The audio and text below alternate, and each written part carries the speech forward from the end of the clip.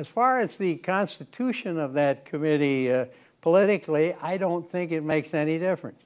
Uh, so one of the panelists suggested that they're going to represent the leadership, and that's my judgment too.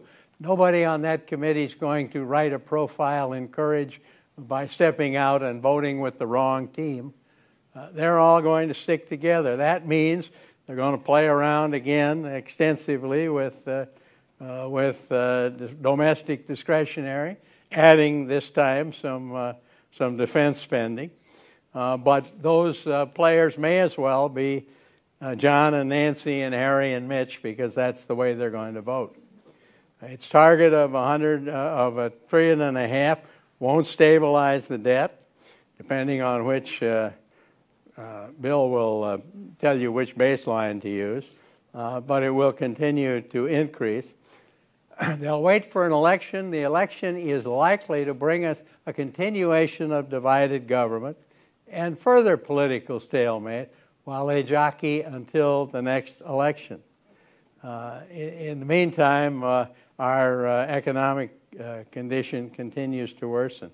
In my judgment, the, the right kind of solution is that the super committee or the Congress itself has to negotiate something like the Bowles-Simpson or Rivlin-Domenici plan uh, with forcing triggers to stabilize the debt in a dozen years and reduce it uh, thereafter. I think uh, our economy needs the certainty. And uh, if, as Henry suggests, you need to backload that a bit, uh, that's all right with me. The Democrats have to, are going to have to sacrifice some entitlements.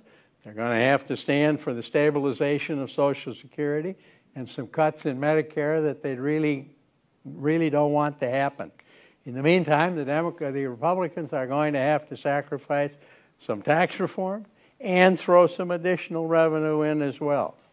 At the moment, neither party seems willing to make such concessions, and uh, as a result, I believe that the uh, super committee will achieve its uh, $1.5 trillion goal. As somebody said, the, uh, the trigger mechanism is, is a little frightening, I think, to both parties.